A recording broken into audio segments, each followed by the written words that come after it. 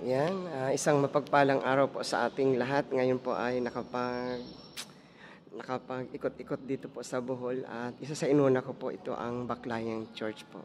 Ngayon po iikot po tayo. Ayan. I-share ko po sa inyo kung gaano kaganda. Maganda pero luma na tong simbahan na to. Pero ito, ito po ay dinarayo. Ayan. Yung taas. Ayan po yung taas. Yung bubong niya. Ayan, ito yung baba. Iikot ko po kayo. Ayan. Actually po may mga pumupuntang tao ngayon. Maraming pumunta. Ayan. Ito po ang tagiliran. Ito ang nasa left side. Ito ang nasa right side. Ayan. Ito po yung mga yung ceiling po nila. Ayan. Yan ang ceiling po nila.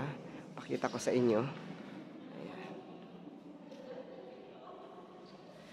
Ito po ang Baclayon Church. Ano pangalawa daw to sa pinakalumang simbahan dito sa Pilipinas. Ayan. Dinarayo po to. Umiikot ko lang po kayo.